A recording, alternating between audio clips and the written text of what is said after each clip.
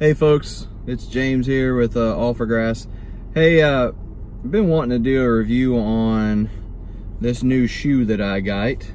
Uh, I heard lots of reviews online about it, and uh, you know, it's supposed to be a, a shoe made for, you know, people like you and me, people who mow yards and work in the yard and stuff.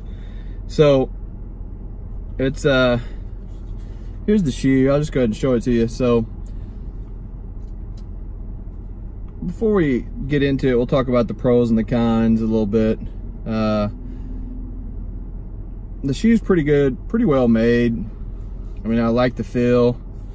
It's uh, pretty light. It's uh, Kujo, I think is how you pronounce the, the actual brand.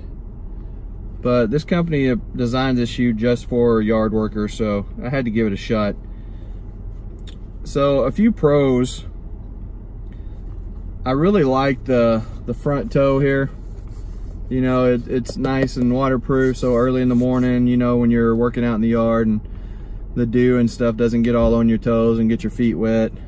They claim that this shoe is waterproof. I would say it's water resistant uh, because it is breathable. So uh, there's gonna you're gonna get some moisture in here.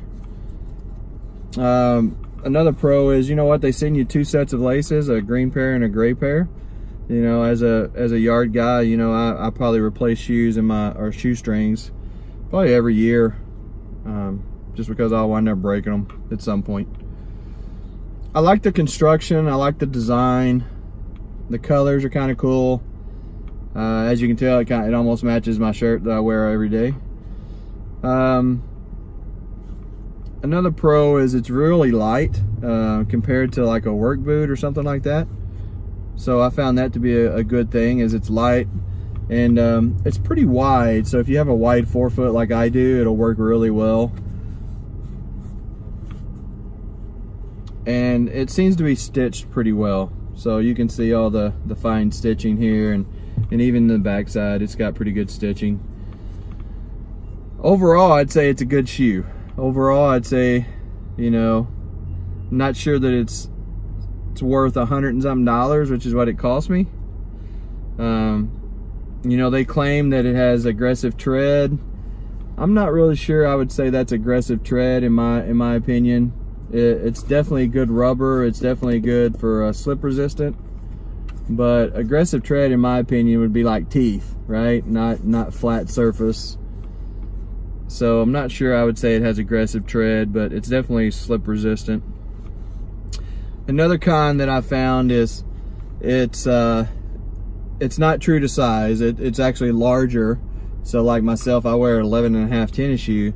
So I ordered 11 and a half and, and it's kind of big. It's, it's a little too big for my foot. Um, so if you're ordering this shoe, make sure you order it, you know, probably a little smaller than, than what you normally wear. Cause I would say it's probably close to a half, a half size too big. Um, the other thing is, you know, like I said, it's not very aggressive tread pattern, but if you look at the shoe itself, you know, it doesn't have any arch support in it, which for me, it doesn't work well because I need arch support. I have high arches. Um, if I pay a hundred something dollars for a shoe, you know, I, I don't want to have to go buy 30 or $40 pair of arch supports to put in here just so I can wear the shoe. So if you're flat footed, I think this shoe would be awesome for you. But if you have if you have high arches and you buy this shoe, then you're gonna have to go buy some arch supports. That's just all there is to it. I wore this shoe for, I got it two days ago and I've worn it for a day. And um, yeah, by the end of the first day, man, my, my arch was killing me. So I'm definitely gonna have to buy some arch supports if I continue to keep this shoe.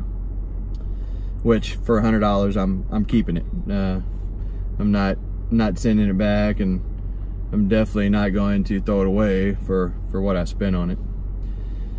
Uh, another con that I found with the shoe is it's uh the sides are kind of flimsy. So like if you're looking for some kind of support on your ankle, mm, it's not there. Not there at all. And I'm pretty sure the shoe is not made in the USA.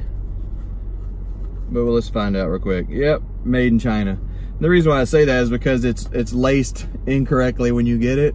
Like you know how most of us lace our shoes or we go over the top, right? Well, international shoes go underneath.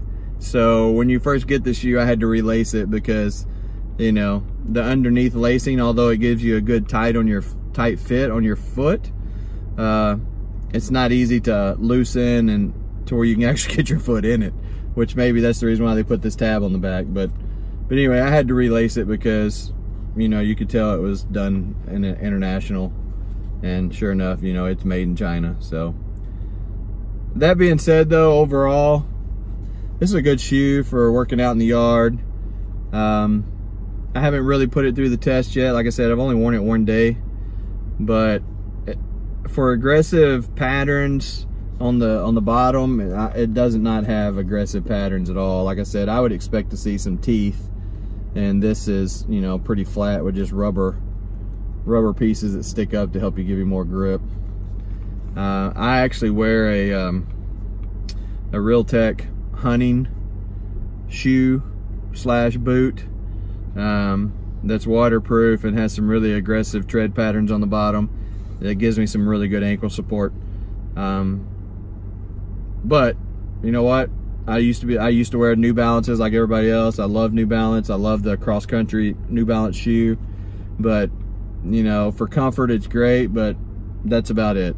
it doesn't give you any kind of water resistance. It doesn't help you with, you know, your shoes always get nasty where these look like they would probably clean off pretty easily. But besides that, you know what?